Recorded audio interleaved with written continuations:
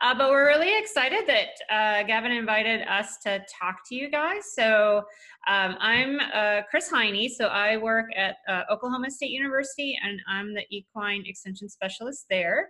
And I'm currently the chair of our extension horses, which is part of e-extension. Um, and then Colleen Brady at Purdue University uh, is also equine extension specialist. And then Kathy Anderson um, from the University of Nebraska. Um, so Gavin uh, chatted with us about uh, our experiences um, with a community of practice through e-extension and how um, maybe you guys can learn from some of the shared experiences that we've had. So we're actually going to be presenting this as kind of a team effort. so, so Kathy and Colleen um, will kind of get us started with a lot of the historical perspective and some of the length and breadth of this particular community of practice with the extension. And then i'll take over later um, with a little bit of what we're up to um, currently. So and i will be the official clicker as we go through since i control the the screen. So we'll get started.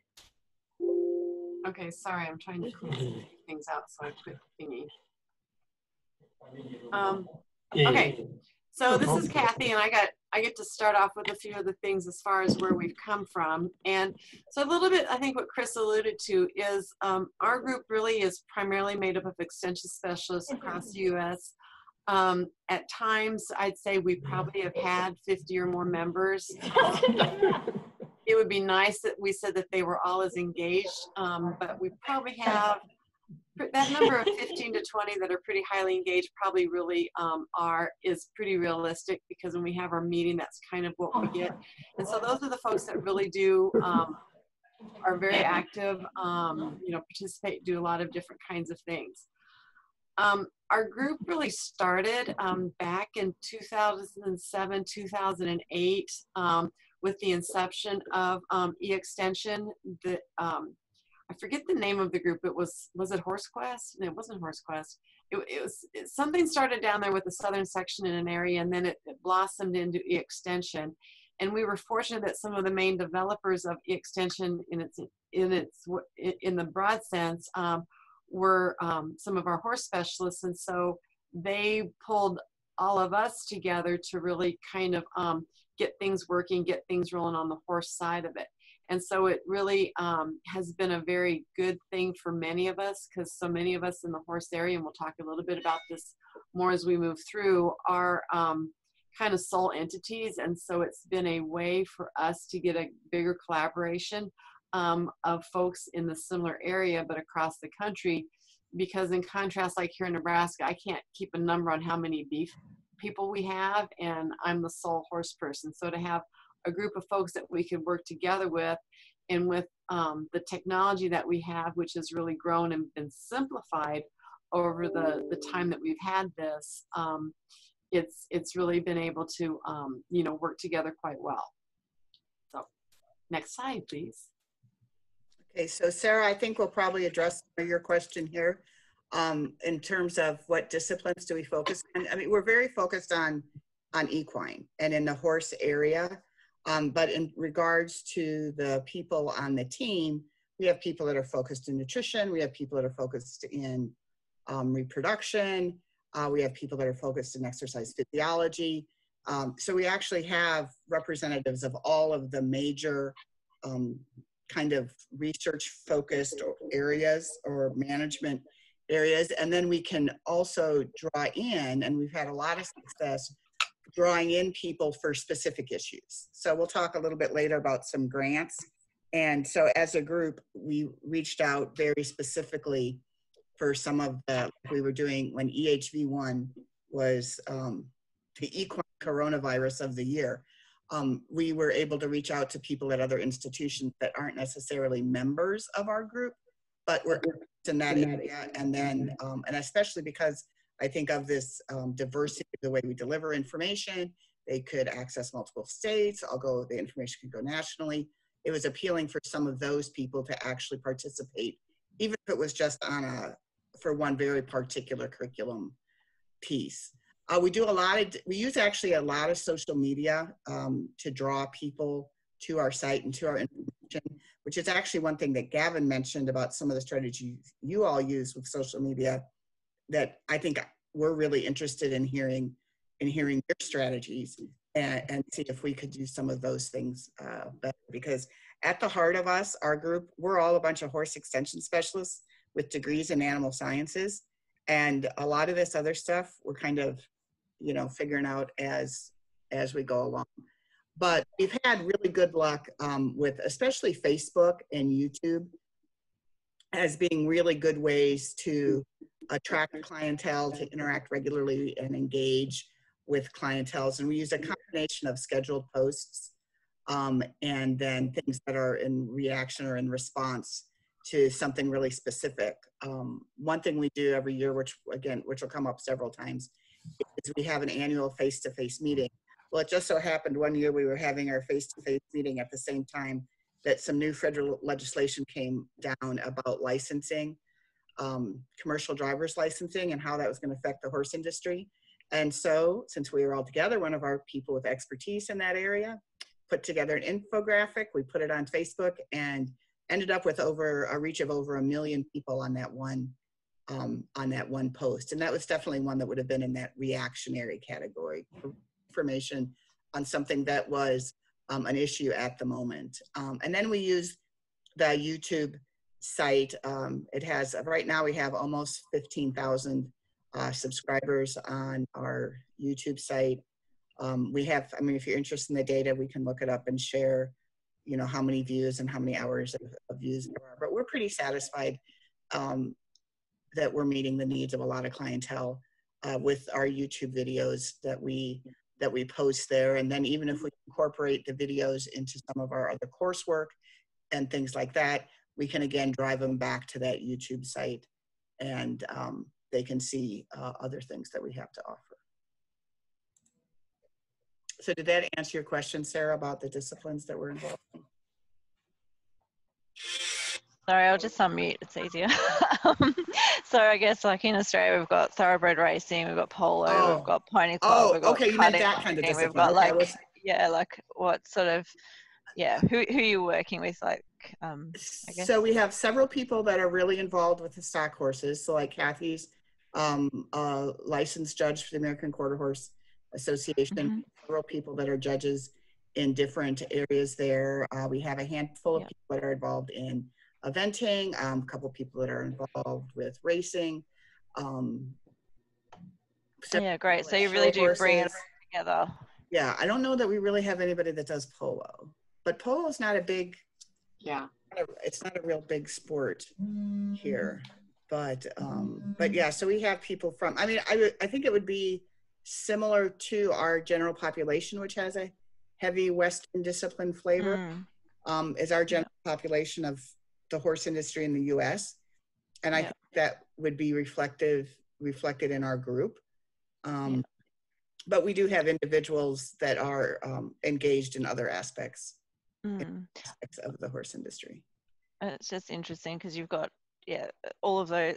Well, the common theme is the horse, but obviously there's lots of so yeah just applying that to what we do you know might be talking about young farmers but they're interested in different areas or aspects of their business so it's how do you sort of yeah make sure your content is relevant to those different Well, sections, right, and they connect to it Mhm. because we have Mm. found that some of our stuff's doing something as simple as changing a picture and Right. taking out a picture of a Mm. racehorse and putting in a picture of a rodeo horse. Now all of a sudden, the people in that discipline really feel more connected to it. Like this Mm. is about us too. It's us.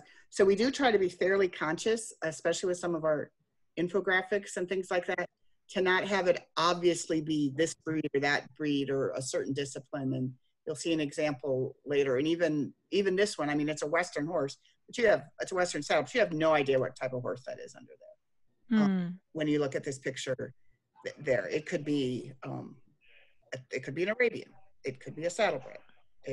mm, and so we, we do try to be somewhat conscious with that but, but about eight, you know quarter horses are by far the most popular breed in the country mm. Cool. thank you Mhm. cheers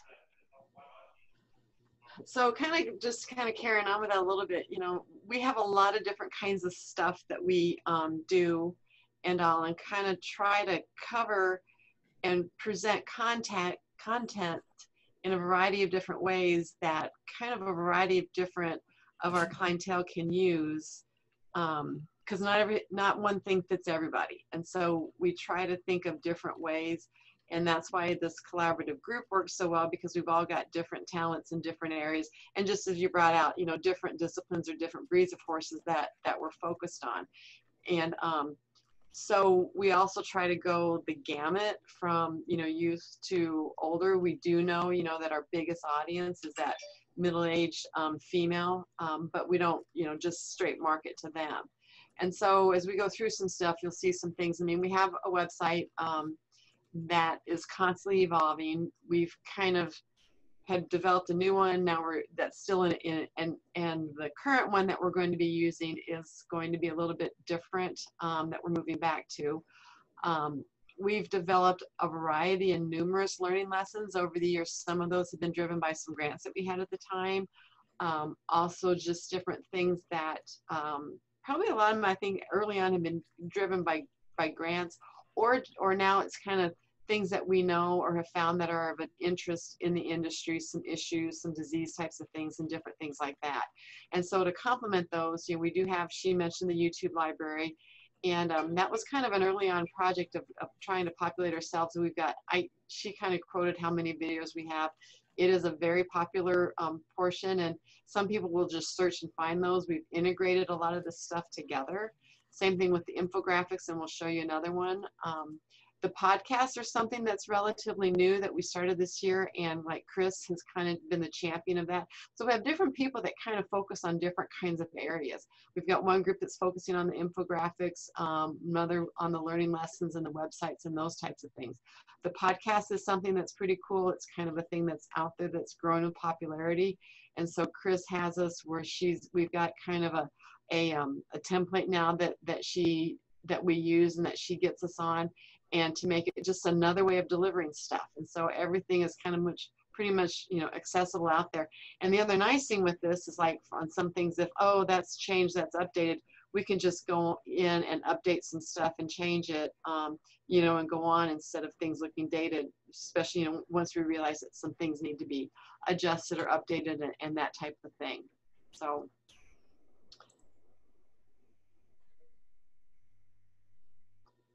So these are some of the grant products we had mentioned, and we didn't want to go through all. As time has shifted and changed, there there used to be when e-extension was first established, there was actually some internal grant um, opportunities uh, to support the development of communities of practice.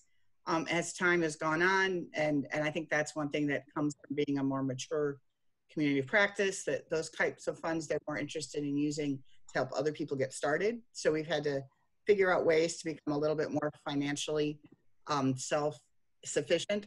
And at least in this country, we find it fairly challenging uh, to get grant funds for equestrian programming.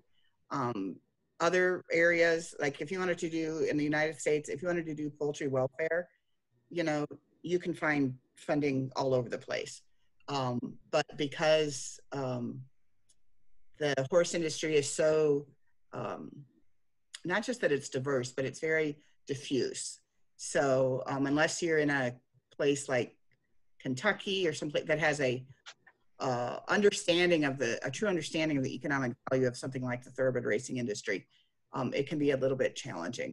Um, but we've had some decent success over the years getting grants um, from a variety of, of, and generally what they've done is gone and developed these learning lessons, which is kind of what we call come up some of our short courses. And the one that's highlighted there is one, we actually did a couple with the US Equestrian Trust.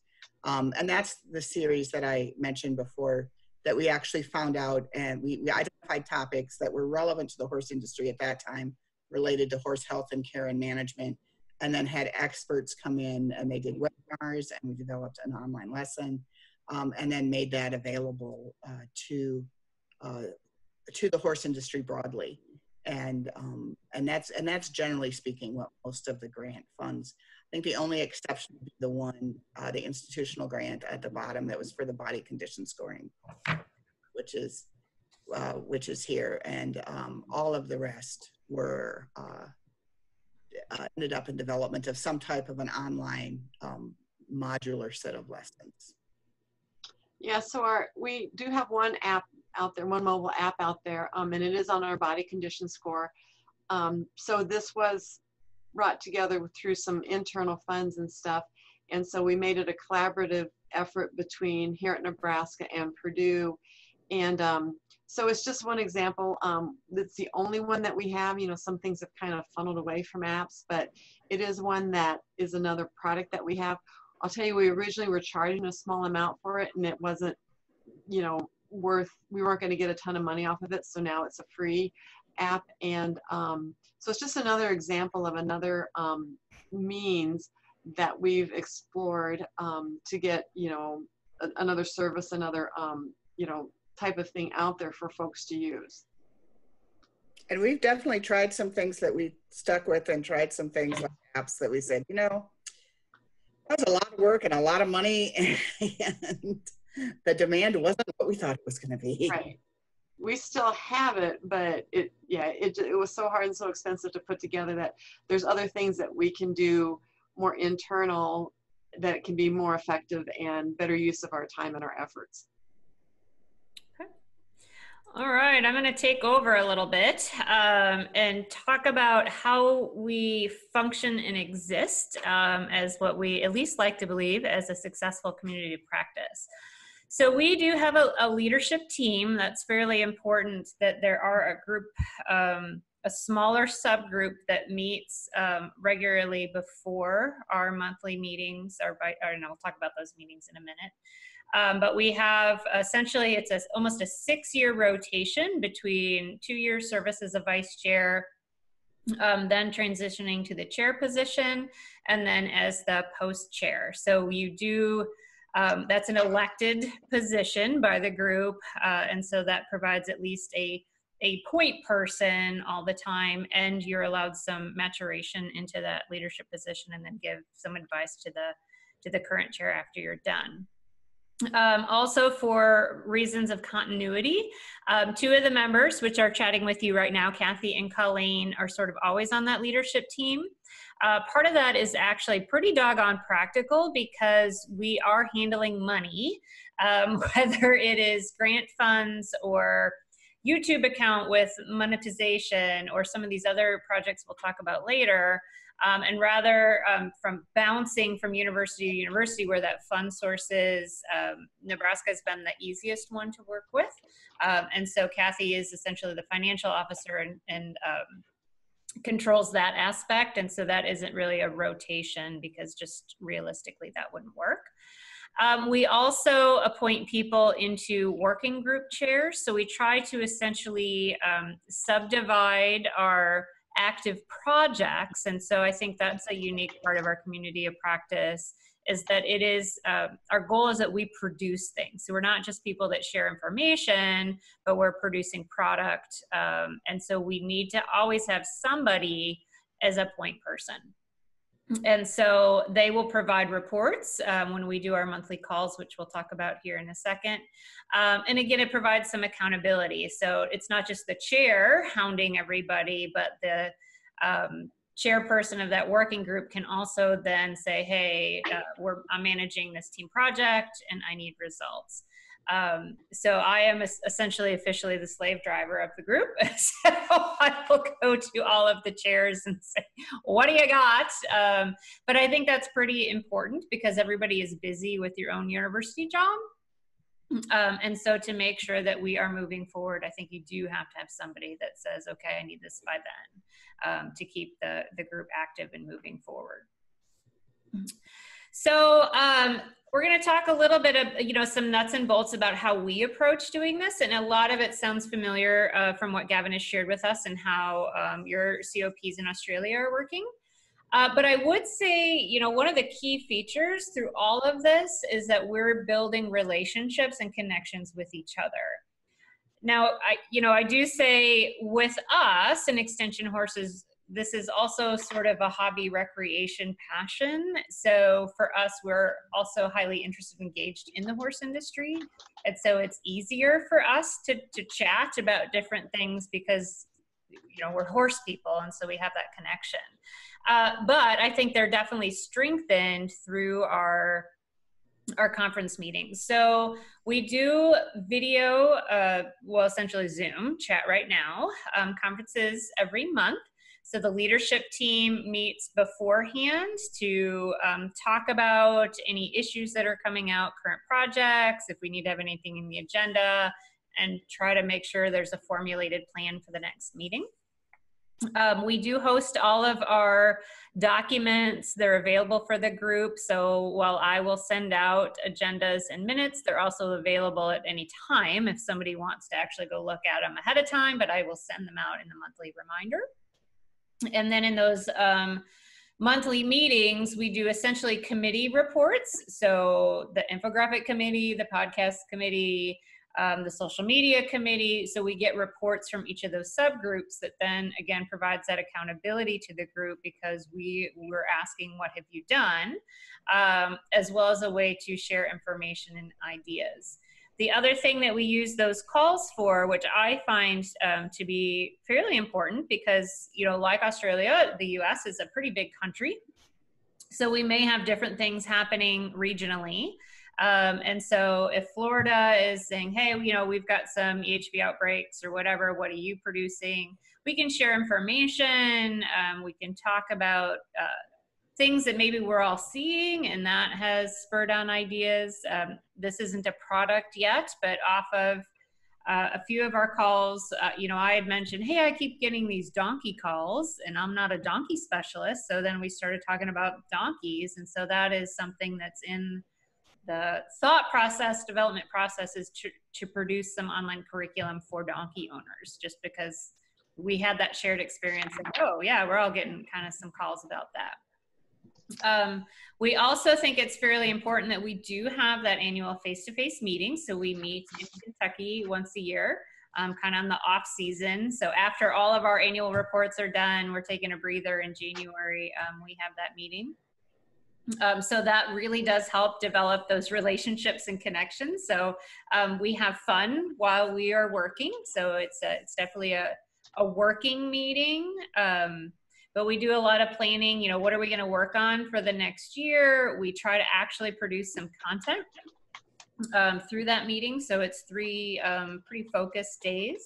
Uh, we also typically have done something relative to professional development uh, which provides a reason for people to come to the meeting and not just say, oh, we're going to Kentucky to work, but you're going to learn something um, and essentially expand your professional portfolio a little bit by attending that meeting. So that's, I think, a pretty key part of that. Um, and because of those relationships and connections we build, um, we're able to work, I think, fairly well uh, in shared projects, even grant writing, um, course development, et cetera, because we've already built that uh, ability to relate to one another. We've built that accountability in um, because, again, we know each other and there's that sort of this needs to be delivered by then. Um, and on just of a nuts and bolts, uh, we do file sharing so that we have a big repository of information that people can go uh, grab if they need something uh, to help with their own um, courses or own programs, uh, as well as then just actively working within a document. So that's uh, worked out fairly well for us. And in these days, there's so much of that going on. I don't, I don't think that's as novel anymore as it used to be, but we probably were a little ahead of the curve um, at the time. Um, so how do we keep it going? How to be successful? Uh, you definitely in a group like this, um, I think Colleen had mentioned, or maybe Kathy, at one time there were more than 50 people that were identified as members or contributors but that was also you know in a time where there was more the ask the expert ask the expert and you just had to respond to questions uh, versus now um, it has to be a little bit more active and, and working on this online curriculum. So our group is probably smaller although we still have people that will uh, tune in once in a while and provide some feedback um, but it's important, you know, for us as a member of this group to kind of have an expectation well we do need you to contribute. Um, so we're not going to ask the world from you but some sort of product or you know effort uh, sort of is expected. Um, i think that it's also important to reach out to new extension professionals uh, be they uh, specialists at the university or even our county educators, to make those personal connections and invite people to join the group because they may feel a little intimidated um, unless you do that. So that's one suggestion I think I would probably make. Um, so using your knowledge of people that have shared interest or that that piece of your um, professional portfolio to be involved with that. So reaching out to people um, I think it's also important to let people play to their strengths. So uh, Kathy and Colleen mentioned we do a number of different activities. Um, and over the years, so infographics are a great example. So we did a professional development meeting on, uh, or a session on doing infographics. Well, it turns out I hate them. I would rather stab myself in the eye than do an infographic because I find them terribly piddly and they just won't do what I want. Um, However, I've found that I have a bit of a flair for the podcasting. So, since I'm one of the more theatrical members of the group, that's sort of been my niche and my role. And so, that's something that I take on. So, I'm sort of the on air presence uh, of the group. But that really does allow people to find their strengths. Again, Colleen's really good at online course development and can get all the gadgets and widgets to work. So, it's sort of letting people find their place. You know, if you're really good at uh, writing journal articles, then that's your place versus if you uh, have more strength in this sphere or another. So uh, that has been important to let people kind of experiment a little bit. Um, and I think the other thing that's fairly important to the group too, because we all have main jobs, is that it's shared responsibility. So it's not one person or two people that have to develop an entire thing but just pieces of it. So we'll talk about one um, coming up here a little bit, how we're doing some of these short courses and make it not overwhelming for people to participate and also then invite them into the group and show them how this can benefit them uh, professionally. Um, so again, we want to make sure that people are fairly uh, engaged. So Kathy had already mentioned there's not always a lot of us uh, our faculty type, so to speak, um, at our home institution. So there's not very many universities in the US that have a robust equine department where there's a lot of you. So many of us are working um, in small numbers. And so if we only talk to our colleagues at the university, we never get to talk to horse people. So this actually is a great way for us to reach out um, and talk to those like ourselves. Uh, so that's been really refreshing because otherwise, you know, I talk to my beef people, but they don't always get what the horse people are like. Um, and, if, um, and if I can pop in here quick, Kris, because this kind of gets at one of the questions that somebody's been asking, or but some people have been asking in the chat about how long people stay in the COP and things like that. And I think that's a big part of why people really, once they engage, they tend to stay engaged because we very well might be the only other.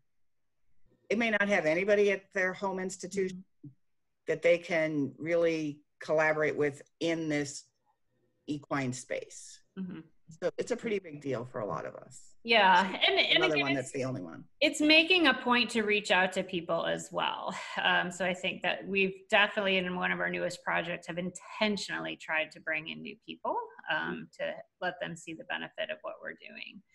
Um, also on the the grant side of things because there's not a lot of equine grants out there um, we play a lot more in like the educational field. Um, and for us you know anytime you know you have a multi-state or multi-institution collaboration that's going to be looked at a little bit more favorably in the grant process. And so again building those trust um, relationships and the ability to work together prior uh, makes that process a little bit smoother um, going forward um, so how do we convince people to play along? so that's probably part of it. We could all say, hey, we're really fun and it's a great group of horse people and build these relationships. Uh, but we try to actively make sure people recognize the benefit. So our group has been pretty aggressive in pursuing professional recognition for one another, and so that is often uh, it's part of the focus of our annual meetings is to say what do we need to do to help people um, receive awards or help with promotion. Um, to make sure that we mentor uh, each other. And again really there's a, a, bigger piece to this than just producing product but really trying to help each other grow professionally um, and making sure people see the value in that. So that's i think tremendously important. Um, so we also try to communicate to the team really well so all of those agendas and minutes get sent out to the greater group. So even what you know the lurkers or the ones that only join uh, now and again. They can see what we're doing and hopefully build excitement to say wow this is a group that's really pretty innovative and they're working with some important people and i might want to be part of that too. So i think that's also important to show yeah this is a pretty active group and might be like the cool kid clubs. and I'll just add a little thing in here, kind of goes with other stuff like for us, our probably our main national meeting where um, equine um, research, teaching that kind of stuff is presented is what we call Equine Science Society. And we try to make a point to always have something presented there related to our extension horses stuff. Um, so I think that we try to present stuff from this group at the national level kind of helps with um, some of those kinds of things. Mm-hmm. We want people to recognize that we're um, doing pretty well. So on the the funding model, and I think well, I have a slide kind of on the challenges and um, kind of want to get to some of the fun things we're doing. But we also have tried to be fairly entrepreneurial in some of our approaches to funding. So I don't have a picture of it. We probably do need a, a, a graphic on that. But one of our more recent um, forays has been into online instruction for youth contests. So it's called the Hippology Academy. So this is something um, Colleen and Kathy actually are pretty instrumental in putting together, but they're essentially six week uh, modules to uh, give kids information to help them prepare for hippology. So the equine contests that um, they ID things and they take tests and all kinds of fun material. Um, so some of the new software allows us to build really interactive lessons where the kids can take tests and quizzes and things like that to help prepare them. And so that has been um, pretty successful. Uh, and also allows that collaboration because a six week course is not something that's terribly easy for somebody to put together, but we can approach our colleagues and say, hey, can you do one week? We just need one week on this subject. And so people are a lot more willing to say yeah i mean all of us can put together one week worth of material. It's if you ask me to do 16 weeks that i might beg off. Um, and so that's been a great way to get new people involved and show the impact of what they're doing um, and it's been pretty successful. Um, the other thing as a group that we try to do again is really uh, always have that professional development piece um, so we've engaged with that through e-extension itself, so taking advantage of some of the uh, professional development workshops they've done. Um, so we've done a concept mapping workshop and uh, actually Craig and Ashley from e-extension uh, put on a, a, mini impact collaborative for us. Um, that for us, you know, because we know each other, uh, I think actually makes the professional development piece a little bit easier because we can grumble and complain and look over at somebody else's work.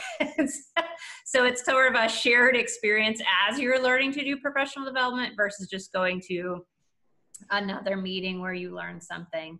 Um, and that again allows you to see where people sort of that's their skill set and they um, take it and run. Um, and so we really, I think this group has been really helpful. I've learned a lot with video editing and audio editing um, and playing with instructional software that I never ever would have attempted to do if I was just in my own little silo here. Um, so that's been really fun. And then we can just reach out and say, hey, do you guys have this or uh, help me out? So that's been um, pretty impactful. So actually, if we can go back a second to another thing I want to back. Can you go backwards? Yes, I can. It's the co-branding. As we talk about how things are valued and how everybody can feel like participating is we we have some kind of guidelines for co-branding. So like this particular infographic was developed by people from the from Purdue University and the University of Minnesota. as well as part of Extension Horses.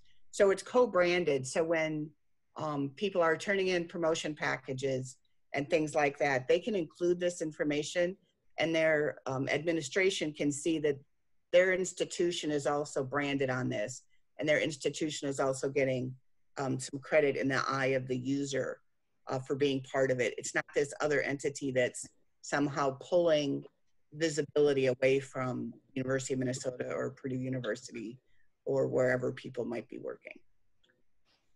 Yep, I think that's fairly important that we're not trying to steal credit from who pays our salary. and that was a really big deal at the beginning when we started this whole initiative is is major concerns from people about if if um how am I going to get credit back at my home institution for what I'm doing as part of this collaborative team. Mm-hmm. So we don't want to be sunshine and roses. Um, there's also some challenges that we face. Uh, certainly within the US, the e-extension model has changed where it used to be more um, providing funding and support for the individual COPs. It's moved to a, a professional development network. So the COPs have had to learn how to survive on their own which is part of why we went to being entrepreneurial in our approach to survival um, that we had to figure out revenue generation for us to be able to do what we want to do, which is, you know, face-to-face meetings and be able to, you know, pay for some of these software or um, different programs that we need to produce the work. Um, so also we know our members budgets have shrunk. So where we're able to, you know, yield some dividends on entrepreneurial projects, we can help offset costs for people that have produced more, so to speak. So a little bit of cost sharing uh, there. Um, and the grant grant funding is tough. You know, again, Colleen spoke to in the horse industry, it is it is tough um, because it's a pretty splintered up group. There's just not a lot of funding on the pure educational side that's out there. Um, we want to make sure our individuals know there's value to participate. So um, and it probably depends on institution to institution what your administrator thinks or values for this. I'm fortunate my particular um, administrator really values the extension, so I get to be in the sweet spot. Um, different states uh, may not, and so they may want to see more. What's your local programming? What are you doing for me versus this bigger group? So that may, you know, person to person, that may differ a little bit. Um, and certainly as people move through career paths, um, sometimes their appointments change and they are not able to participate as much as they used to. That's happened actually quite a bit to a few of our members um, through no desire of their own. If their appointment changes and they're not able to participate as fully um, with so um, that's just a reality that we have to face and why recruitment of new members, I think, is uh, pretty key. Um, I know, Gavin, we spoke about this a little bit, um, evaluating our impact, which is something I will confess that we probably need to do a better job of, but something we've mentioned and is now, you know, as we go forward is more in the thought process. So I think thinking about these projects we take on and thinking about evaluation at the same time helps us develop a plan before we do it. Um, but as uh, I think I forget whether Kathy or Colleen alluded to that, we make sure that whatever those products actually do get presented at national meetings. So abstracts are presented. Um, we get that data of the results of these programs in front of people as well um, to, to demonstrate, yes, we are evaluating programs, and that's obviously always important for administration. Um, and making sure, again, that we get that information out there, the successes of the group. Um, challenges for us, especially in the um, horse industry that our COP faces. Uh, more and more we see, well, I guess it's probably everybody's industry, that the education space is also being taken up or participated in with um, private for-profit companies. Um, and everybody can put information out there. So what used to be, you know, the trusted source, the university source of material. Now there's so much. It's a very, very crowded space to be in. Um, and so we have a lot of uh, competition to be able to provide that information to our uh, horse owners. Um, but we think there's always this uh, we can rise to the challenge, right? So we have a dedicated group of people that are that are part of this that want to put forth uh, great quality products.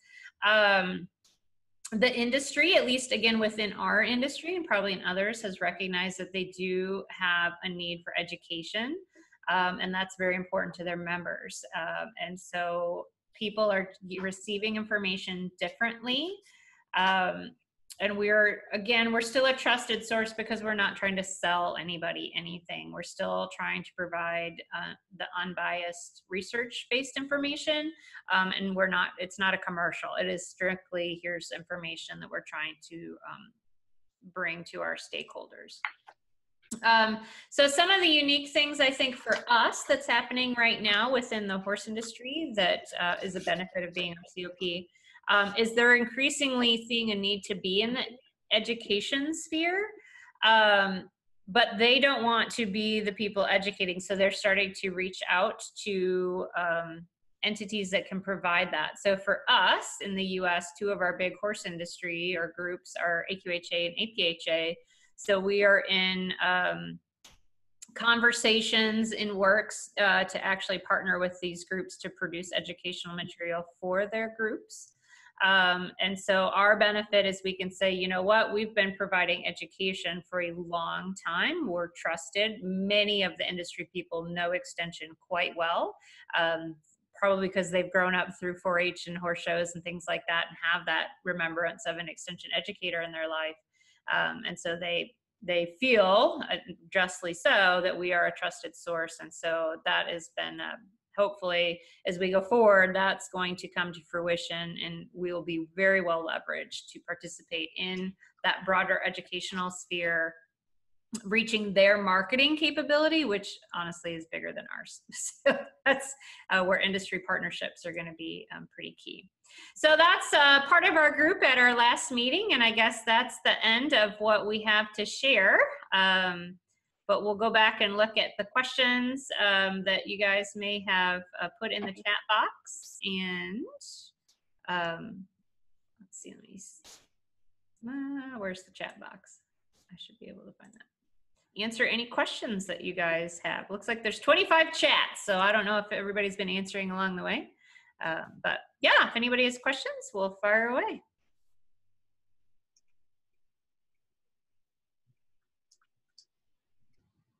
Um, Kris, comments. You guys can unmute and we can chat.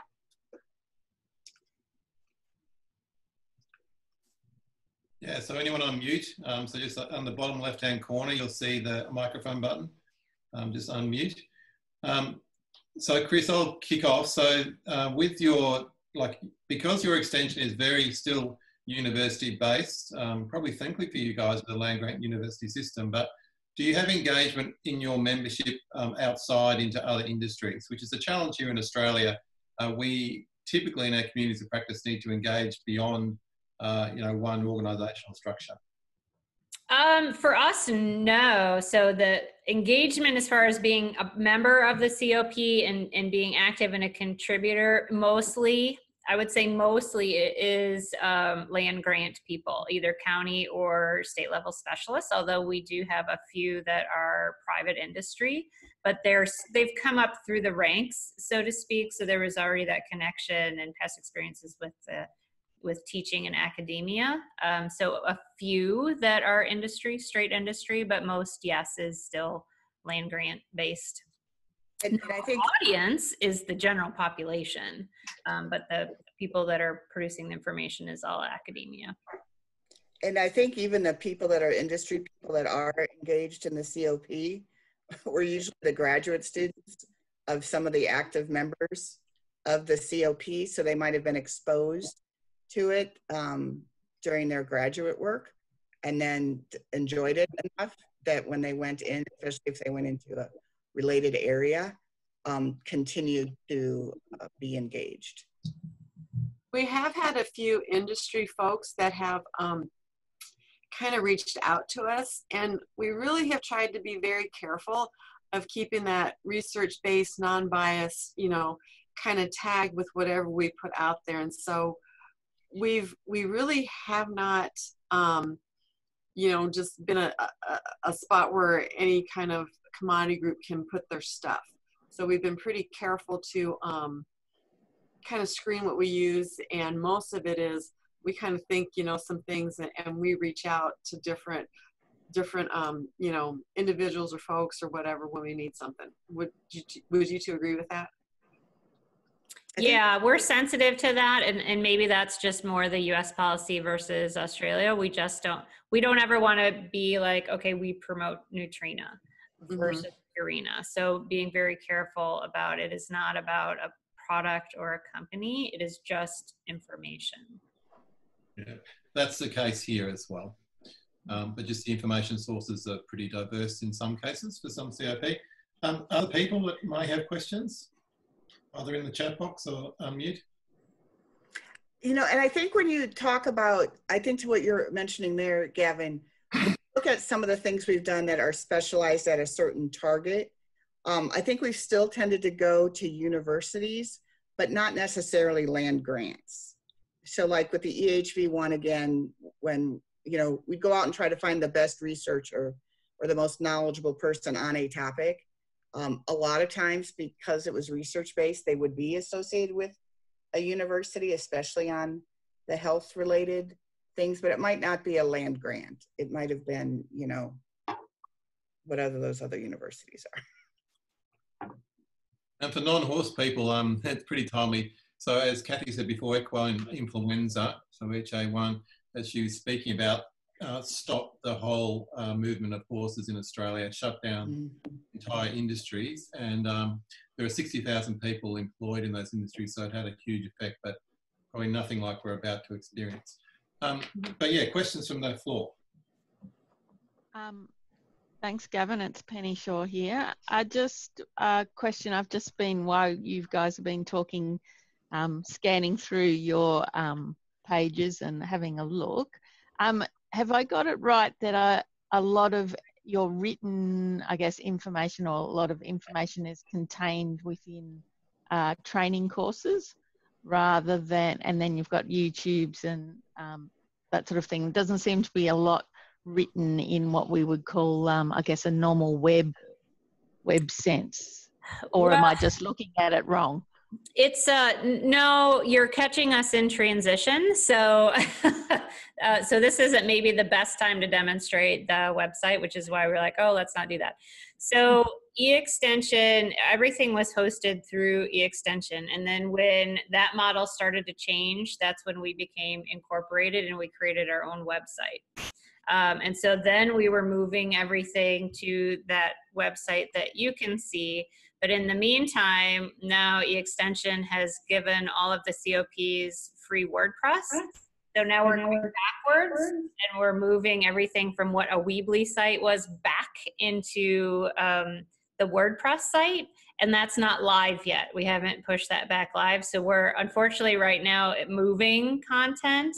Uh, so it, there is a lot of written content, um, but it's, yeah, th- that's just reality. so it's moving around right now. That's worries. really Thanks, kind of what we started with was all of our old. Um, it was very laborious when we started because we were trying to um, combine. We like many of us had different fact sheets on, say the estrus cycle of a mare. So we were trying to combine a lot of those things. So it'd be like, okay, this is one one piece on this topic. You know that all these different folks contract contract collaborated on, and so um, that's what Kris is saying. You can't really see right now, but um, yeah, there's, and that's really kind of when we started building content together. Um, Actually, if you want to share my, if you want to let me share the screen, I can show them what it will look like. All right, Sure, grab it. If you guys want to see what it's going to look like. And that'll, oh, I got to figure out how I, Yeah, so we, yeah, as she looks, we have a lot of traditional written articles, but um, they're just, everything is moving around right now. so do you all see a website now? That has a. Yep. Yeah, website? yeah. Yep. So yeah, so like when you were asking about some of the written content, here's it, here's where it's going to be on this new site. You know, tons and tons of just pictures, scroll through. I mean, that one's just on what kind of breeds there are, you know, business resources, diseases, all these different categories. I think this is what you're talking about when you said kind of more of a traditional website look. Is that right, Penny? And then it's also going to include where you can go um, to our podcasts. So you'll be able to go to one place and, and listen to um, any of the podcasts. You'll be able to go and, what's the word? Subscribe. Sorry. Mm. I feel about podcasts about how, um, I don't feel about podcasts how Kris feels about infographics, but she's definitely the infographic queen. Yeah, no, that's more what I was expecting. And then when I didn't see it, I thought, oh gosh, you guys have got a really different model Oh. where you're getting people to subscribe and pay Mm-hmm. and and all that sort of stuff. So the paid, we do have, it's a mix of free resources and paid. Um, so the paid ones are those uh, packaged lessons where there's tests and quizzes and things like that, and a bigger chunk of material. Um, so that we do make people pay for, uh, but there still is plenty of, of free information. Um, and it's just a balance. And so we've talked about that even at our last face to face meeting um, what is going to be a fee based course versus free. Uh, and essentially, these bigger, large projects that have had a lot of input, those are hidden behind a fee based. And then the smaller, you know, a little thing on laminitis you can get for free. Right, and that's where you'd look under here, because, and uh, most of those too that are fee-based, you can get a certificate or a digital badge um, if you increase, or if you participate. And that's another, because somebody asked on the chat, what are some of the things you've tried that haven't quite worked out? Well, the digital badges, we worked really hard on figuring out how to do digital badges. And then people just weren't that into it. They're just happy with their certificate that they can print out on a piece of paper and do whatever they want with it. That the I don't know if any of you guys have you all worked with digital badges very much and had any tried them. I mean, I don't even know if they're a thing anymore. Are they? Well, Colleen, it's really interesting because um, in the college, okay, um, they're looking to start badging, doing doing exactly what we were doing, and so it's it's kind of interesting how our administration has somehow decided that we need to badge, just start start the badging thing, and I'm like, I've been there. You said, oh, we've tried that. hmm So we're just doing the, the final reviews on this website before we redirect. We just want to make sure everything is, um, I mean, if we were doing this a month from now, you know, this is what you would have come to. Um, I think when, when you put in the, the website instead of the old one. And as we've we've learned things and technology has changed, so we have the some of the learning lessons that we developed at the very beginning. Um, well, we have a new a new software, a new thing, and so we're in the middle of migrating that content to something that it just looks nicer, crisper, newer, More sharper. contemporary. Yeah, and so um, you know that's so before we relaunch them, we want them to have this new look and feel, so they look. The actual content isn't different, but they just look brand new and up to date. The, the problem when you made something, when we make something in this space 15 years ago, it's not that the content is changed, but the things we started like what a new and prospective horse owner should know, most of that information is not different, but what was pretty contemporary 15 years ago is like beyond antiquated now. And so we're, we're trying to get some of that. And then like Kathy said, relaunch it like it, and people think it's fresh and new. Mm-hmm. We have a question there about the time commitment. So if you see in the chat box, and none of you are full time, I might. So yeah. Just, What on the Ask the Expert? Or just our time commitment to this group. yeah, just the time commitment to the group. Yeah. Um, you know, probably if you're the leadership ones are, are a little bit more time commitment just because you have to. Uh, but when I was a casual member, it wasn't it wasn't that bad. And again, the time commitment, we try to be mindful of that. So like if we need infographics produced, then you do one. So we reach out to a person to do one infographic, not to say you're you're gonna have to do all of them. So that is, I think, a a key piece. And if you, as Colleen said, since they're co-branded, well, if I manage to produce an infographic um, I would put OSU and Extension Horses on it because we've worked together on this. But then I can send it out to my my people. So then that it's part of my mission. So everything, at least for those of us that are, you know, the 100% in the equine education field, it's all 100% towards what we're supposed to be doing. Um, it just might come out in a little bit different avenue. Yeah, I think a lot of us try to, to get involved with projects that we can multi-use, Mhm. okay? Because I have a 50% teaching appointment and they're all equine classes. And so there's a lot of things that I've either produced for my class that I use over here, or I, I've produced for some of our e-extension stuff or extension horses stuff, and I use back in, in the class. Like when we, I was doing my section of Hippology Academy, I got really behind. Well, I was fortunate because I already had some of it, some of it put together that I used for a class that I had. And so that's where I think that if if you can cross some stuff over or there was something new that I wanted to use over here. So this helped me get it developed and then I could use it in the other space that I had a desire for or a need for. So Well, and I think that's too where the sharing mm-hmm. comes into is everybody's pretty open about sharing stuff. So like Kris for an extension program she's doing has worked on taking some of the old body condition scoring material from e-extension and she's updated it and made it more contemporary and used some more interactive software and made it available to everybody. Well, I'm going to use that in another extension program that we're going to do um, here in Indiana.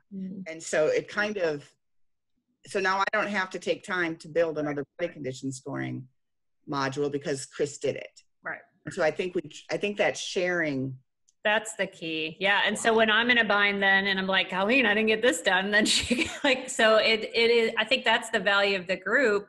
When one of us is in a bind to get something, we our collective experience, we've got something that's able to help each other out. And but you know, that's that also that trust piece, like just not having the lurkers that steal everything and don't contribute. So I think that's the personal accountability that we have to be like, you do this. So- yeah. and, and there's a, also a question here about the ask an expert.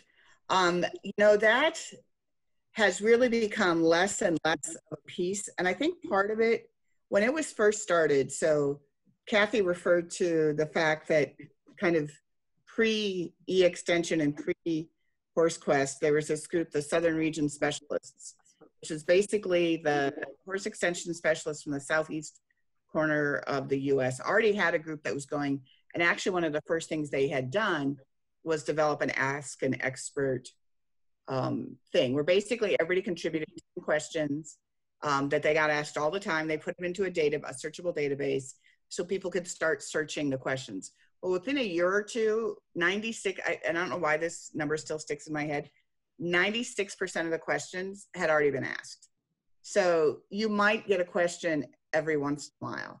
And I would say in the last five years, you know, I might get, I'm not even sure I get one question a year anymore.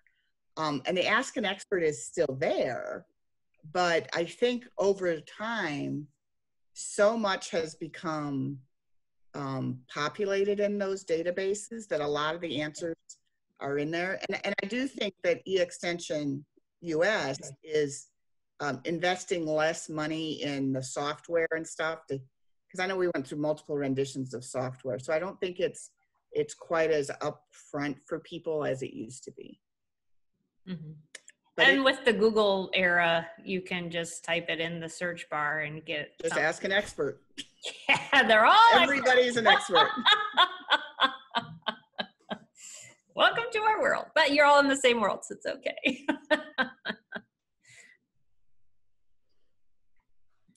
Um, I'm just watching the time, so it's 10 o'clock. So, um, but any other key questions? And the beauty of this is, oh, sorry, it's uh, my coronavirus uh, phone going off. um, any other key questions before we finish up? And we're making this a two-way street. So, uh, you know, with our college, colleagues in, a, in America, we do touch base. And so we'll stay in contact with um, Kris and Kathy and Colleen because it is, we all learn together.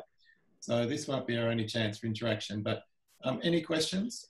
Well, if I can ask a question, I think when one of our conversations, um, Gavin mentioned some of the targeted the way you do targeted social media? And do you do that as a group or how do you, how, do- how do you all use social media to try to um, get your message out and, and drive your clientele to your content?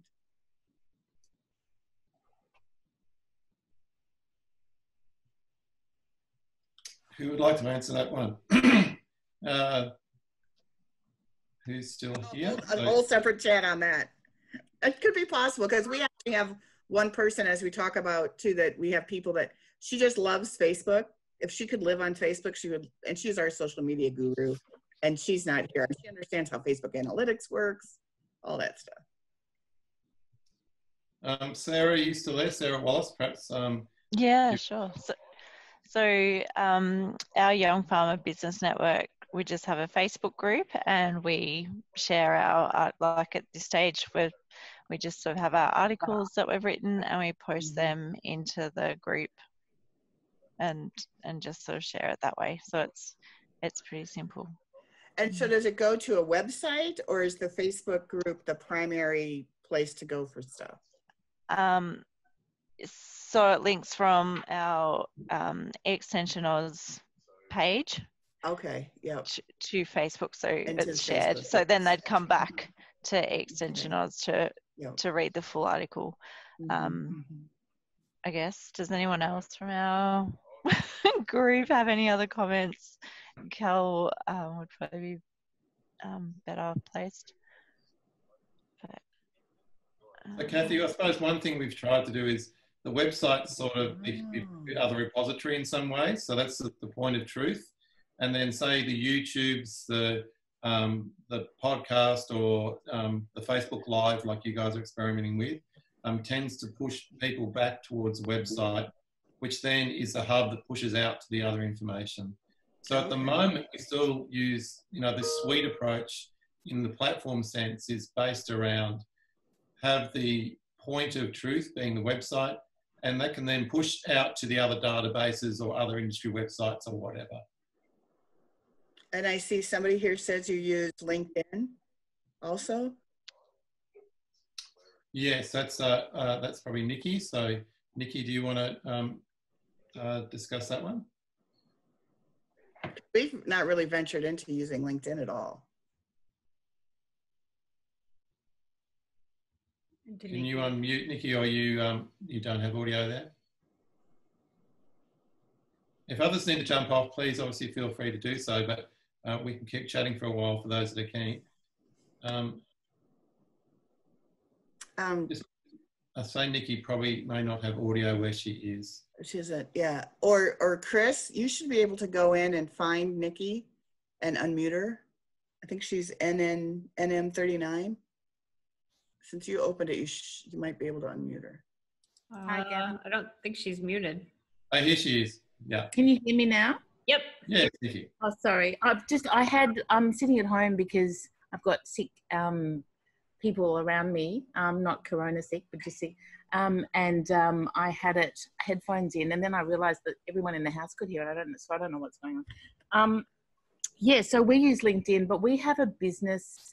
Ours is quite different because we have a business network. So all our our community of practice is all um, consultants that supply services to the food sector, to food and five or many food small business people. And so we find they are more likely to be on LinkedIn than we are on Facebook. But for our community of interest, which is about 1500, we have, we use Facebook for, for our community of practice. We tend to use LinkedIn, but ours tends to be very event oriented. So it's very much about how we write the posts to make it engaging so that it comes out as and it goes to everybody that's in the network or anyone that's on that's connected to us on linkedin. But it's very much about if there's an event that we've just held like a conference or some sort of workshop we make it about that. And we have to incorporate pictures of people. Like i did a bit of social media training and ours is very yours is beautiful and it's about horses. And i know my horsey friends would absolutely love it. But for us it has to be about connecting people so we're all about and i know you said you're all about relationships as well but ours is about sort of content that relates to or through people. That seems to be the way we get the most engagement. But I think it's very different for us because we're in government. We're not like I'm not a technical specialist in food innovation, which is my space. I'm, you know, I'm a government employee and I don't have like the resource. There's just me. That's it. There's I don't have the resources of say the university or or the the sort of the land, land grant system that you guys have got. So we're it's sort of um, ours is more like a business network, which is why we use LinkedIn. I hope that makes sense. Yeah. Well, I would say though, you know, when you think about resources, it's not like they give us anything. so I have this computer and I bought this microphone, but the rest of it honestly is it's our time, our time and shared experiences are the resources. So there's not a lot yeah, there's no financial or extra. Well, that's well. Then that's we're in a very similar spot, though, except that you are technical experts. That's how I, I see from what I've heard you know that's and you were saying kris about um you know you feel like your space is being eroded by everyone's now an expert yeah. Um, so we, we use the ask an expert function a lot because we get lots of questions around oh things like you know um, how to stop bacteria growing in um, apple cider vinegar or what can i do with my chinese date products or i want to produce um, i want to make a product out of breast milk or you know really quite bizarre things but um, so we use ask an expert quite a lot because then we send it out to our network who are actually technical experts and we get quite a good response and then we provide funding on a sort of rotational basis for businesses to work with um, some of these experts and I, I think without the funding we would have a lot less engagement than we you know we do so that's probably you know, that's like a grant between 10,000 Australian dollars and 50,000 Australian dollars. So that, that works quite well for us. Oh yeah, that's motivating. Mm-hmm. Yeah, it is. Yeah, I, I'd say our primary motivation is just the promise that we will pay it back. Um, we're going to try to provide you recognition and we're going to try to help with the promotion, professional development, and you'll get something back. We don't have a very right. Yeah. So so your community practice is really other experts, aren't they, in the yes. equine space? Yeah, that's right. Yeah, I understand. Yeah, so it's yeah. And there's just not that many of us that exist in the world. So I think you also that peer pressure, like who else are you going to talk to? but you're obviously a really engaging and sociable group, though. Like I think that's whereas it's, I feel like, or maybe I shouldn't feel like this, but I feel like like most of our community practice are middle-aged white males. So I don't know. we only have one of those in our COP. Yeah, no, no, Gavin. Ours are mostly middle-aged white women. I know I relate really well to that, but not so much. Well, but you know what? I, I think there's a kernel of truth to that because we are shared socially. Like we are a group that connects because it is we're all yeah. female horse owners, so it is much easier for us to develop social connection. Right. Yeah, I, I, I already have all retired. We had a few men in a male-dominated world. Yeah. Sorry, Gavin. Shouldn't have started that one. That's okay. Would you like me to leave now? And you can continue. it's fine. but don't forget Craig Woods, though. So he uh, still has. He's our one. Yeah. yeah you know, but a, a little our mo model and funding and motivation has evolved over the years because initially there were funds coming from e-extension that um, you know i used to get some funds and so that helped me engage because i'd get a certain amount of money i'd hire a student worker that would help me build the content you know and i don't know that kris was around while we were getting some of those one time we could apply for it was a it was a, pretty good um, yeah. pool of money, and then that helped us. Kind of, you get some money, then you feel responsible to go ahead and build. That's how we built the app and some different kinds of things.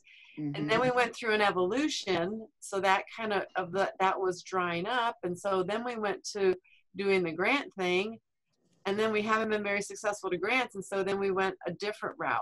And so um, it's kind of how to keep engaged and everything has really evolved because our funding sources have evolved. And thankfully, we came up with this brainstorm last year of the Hippology Academy, and that's really been a helpful um, kind of rejuvenated us to, to enable us to do some things financially. yeah, financially. And so um, there was a time that folks could come to the meetings, the initial ones, and we even covered. Um, I think with some of the first ones even covered the flights, The and then then that has really um, whittled away. And this year, because of our success with Hippology Academy, we were able to cover a little bit more than what we did the previous year, which helps because then if you can cover some folks to come to the meeting, then that is able to entice some more of them to be able to come because it's it's more affordable for them. Some of them just can't, just don't have the funds to do some of those kinds of things. And so, um, yeah, it's a constant evolution, I'd say.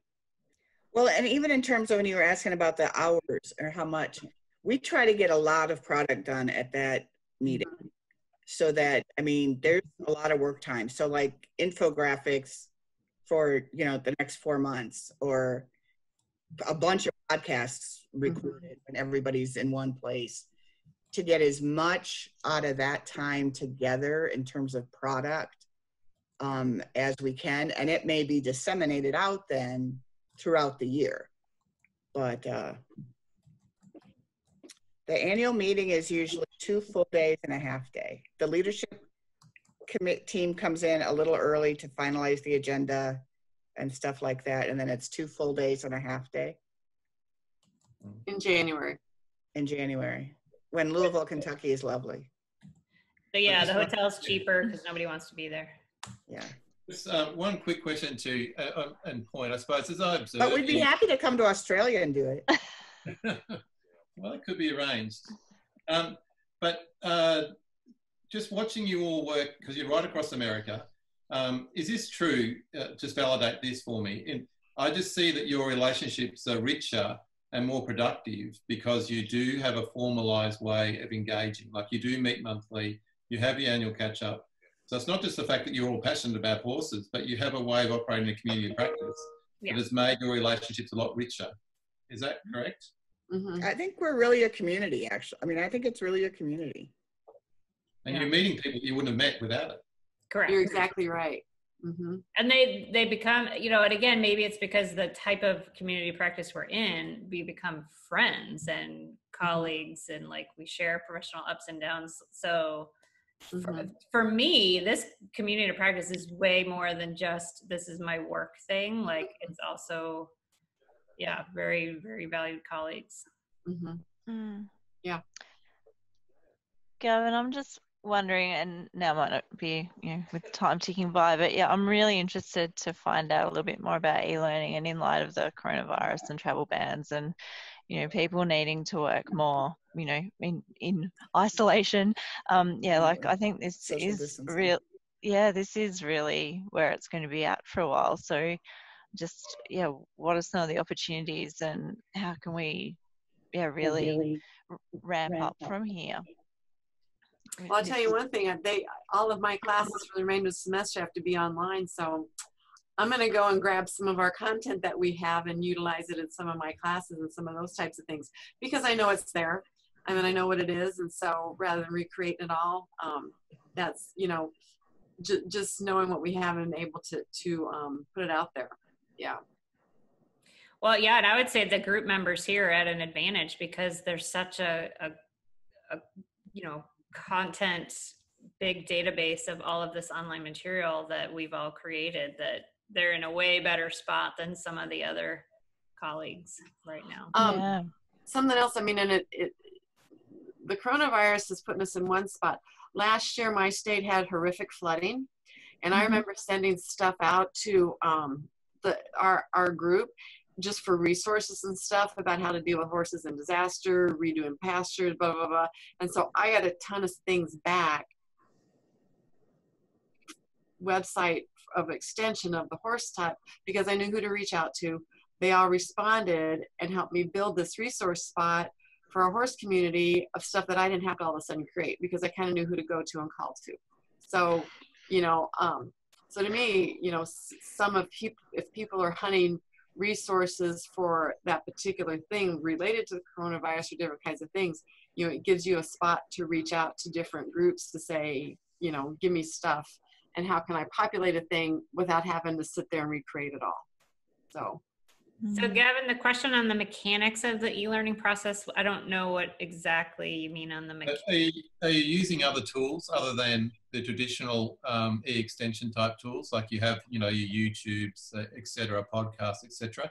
So do you use a suite approach to provide the uh, e-learning and it's a format, like, or is there other other tools you're using?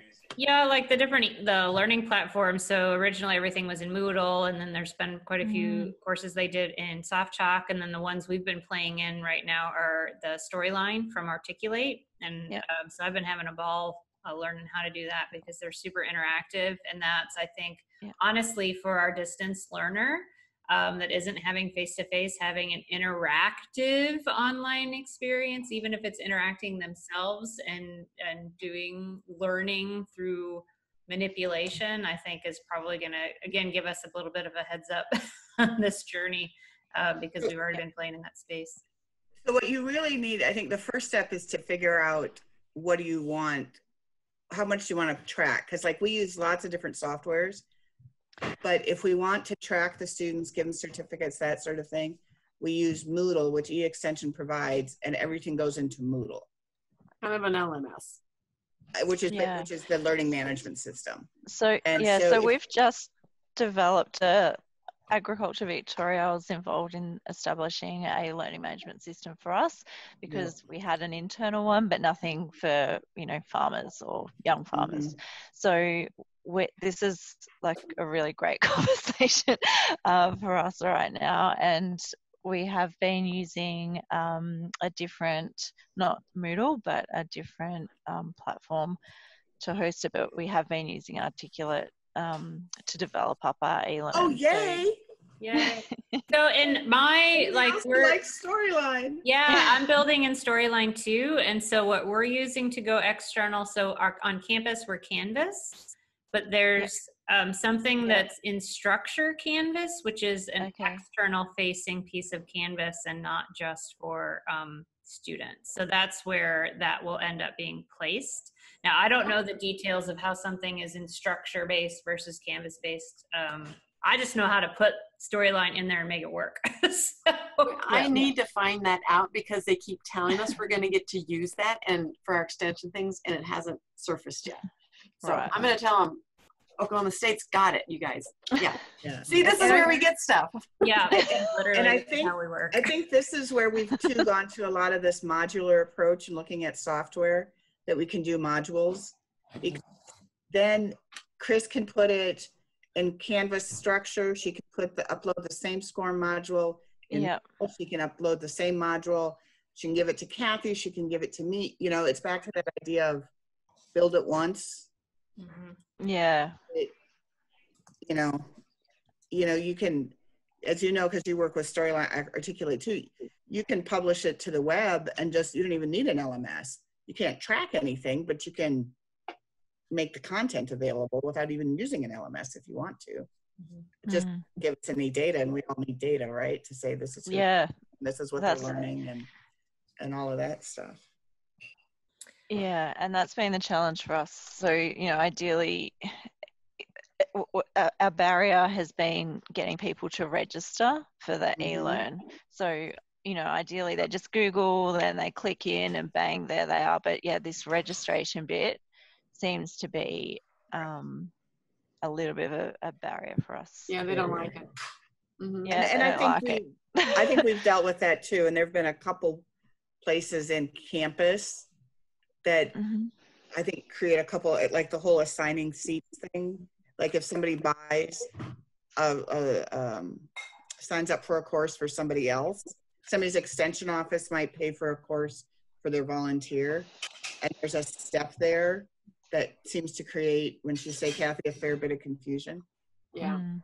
We usually, every time we do hippology, we get a handful of, I'm trying to get access to it and it says I can't. And usually that's the step that Mhm. and of course, we have Mm. no idea how many people say it's too many steps to register. We're not going to bother. Exactly. Yeah. Mm. If they get past three clicks and they're like, I'm not clicking anymore.